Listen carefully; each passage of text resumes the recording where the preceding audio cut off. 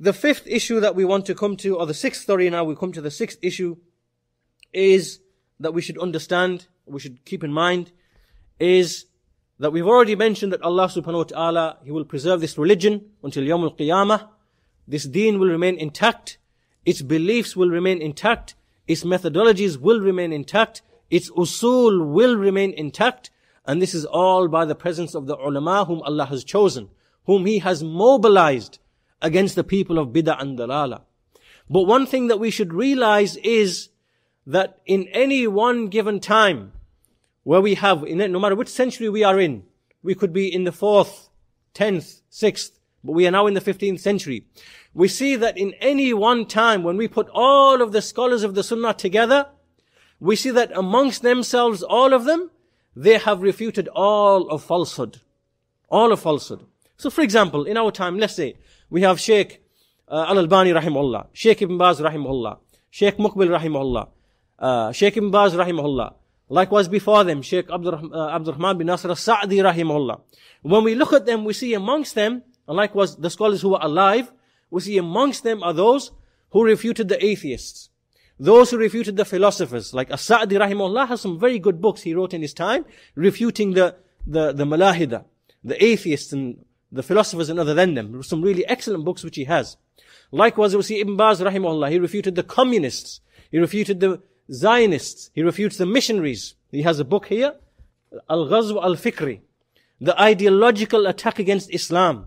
In this book, this really nice book, he explains this, this ideological attack against Islam. It comes from different groups of people. From them are the Christian missionaries. From them are the Zionists. And from them are the, the third group, the communists and the socialists. That these people have come to attack Islam and to attack the Arabs and to bring the, the ideological revolution against Islam. Likewise, we see amongst them those who refute the Sufis and the Rafida and the Jahmiyyah and the Muqallida, those who call to blind following of the Madahib. So the point being, and then they mention, and then they refute certain people by name, like Al-Albani Rahimah refuted. Who did refute? Abu Ghadda and Al-Buti and all these other people. So when we put all of them together, the scholars together, we see amongst them all, we see, walhamdulillah, that they have clarified all of truth from all of falsehood, from all of the innovations of the Rafida, Khawarij, Murjiya, Jahmiya, Mu'tazila, the Aqlaniya, the Sufiya, the people of Wahdatul Wujud. But we see that not every single scholar is refuting every single innovation. We see some scholars, they will speak about some because they specialize in that, and other scholars will speak about others. Right? This leads us on to a fundamental principle in our religion which is what we call, and you will hear this word tomorrow in more detail inshallah ta'ala, it is called jarh mufassar. Jarh mufassar. Which is called a detailed criticism. A criticism which is produced with evidence. This is fundamental in our religion because of a practical and physical reality that we simply cannot escape, which is that there is no one scholar, there is no one scholar who can encompass all of truth and all of falsehood on his own. This is why I said, this is why I said that when you, that the truth of Islam at any one time is embodied amongst all of the scholars collectively. They will all have something of the truth. And they will all have something of contribution towards clarification of the truth and of falsehood. And it was never, ever, ever a principle in Islam that in order for something to be falsehood, that every single scholar had to agree upon it. Let me ask you a question.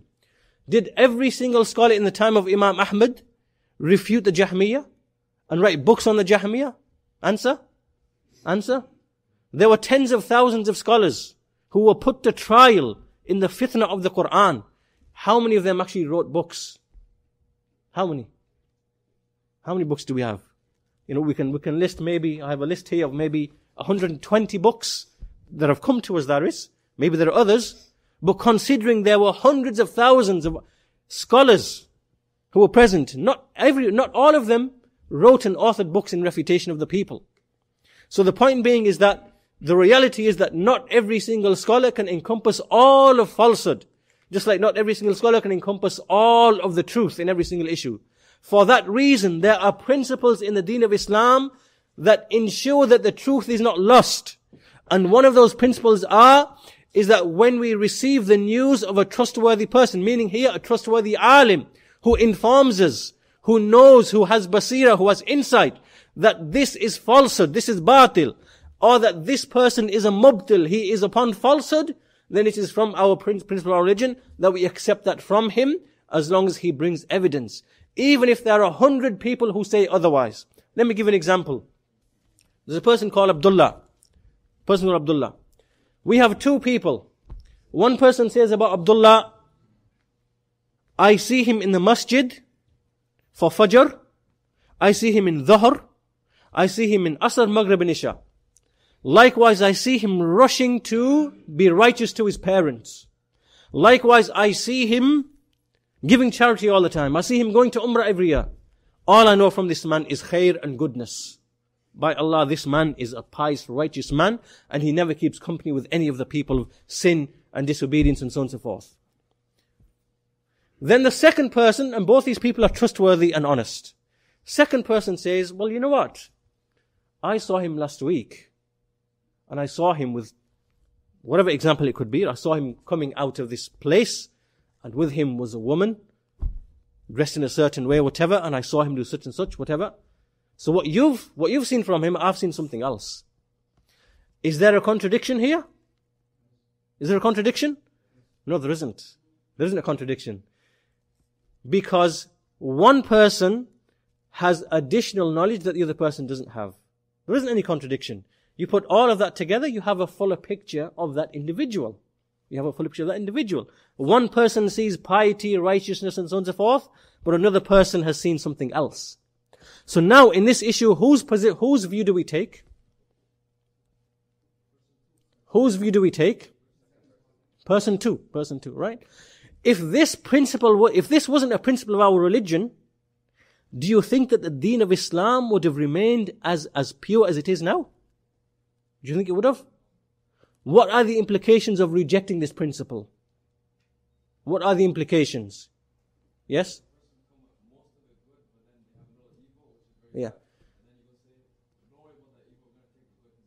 Ah, the implications of this principle, of not accepting this principle, is that we have to take all the books of the Salaf and throw them in the fire. This is what the implication is of this principle. Because it means now we have wronged all of those innovators who are mentioned in the books of hadith, who are mentioned in the books of the, of the sunnah, that they were spoken of by so many of the imams of the salaf. It means that we have to throw all those books away, throw them away. Why? Because those people have, you know, we, if we don't accept this principle, we have to basically undermine the very deen of Islam. We have to undermine the very deen of Islam. Because if we are going to say, well, actually, no, uh, all we know from this guy is good, and that opinion of that person is just something that's, you know, contradictory and whatever else, we can't accept it. This now means that the whole of history, that we have wronged all of the innovators. We have wronged Wasil bin Atta. We have wronged Amr bin Ubaid. We have wronged Bishr al-Marisi. We have wronged, why? Because these people wrote about Islam, they defended Islam in certain respects, they, you know, who says they don't, don't, don't have good, good issues? You know, every, there's no Muslim you'll find except that he has good in him.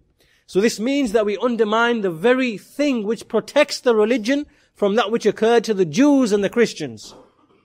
So this means that, so the point that we're making here is, as I was saying, that when we take all of the scholars in any given time, we see that, we see that all of them will refute something of falsehood to a great or lesser amount, even though there are some who are unique in refuting a specific falsehood.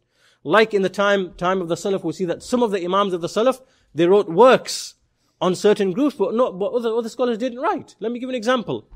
The, the, the, the, the scholar in the 5th century, Abu Nasr al-Sijzi, rahimahullah, he wrote a book on Ibn Kullab and al-Ash'ari, refuting them on the issue of the Quran being the speech of Allah and Allah's speech being al-harf wa sawt, letter and, and, and, and voice.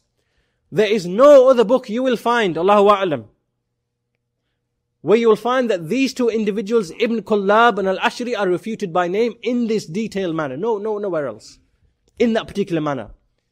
So this shows that it is not the case that every alim has to come along and every alim in the dunya has to refute that person before now we come to accept the criticism. No. when an alim comes, he brings proof and evidence, then it is upon us to, to accept that proof and evidence.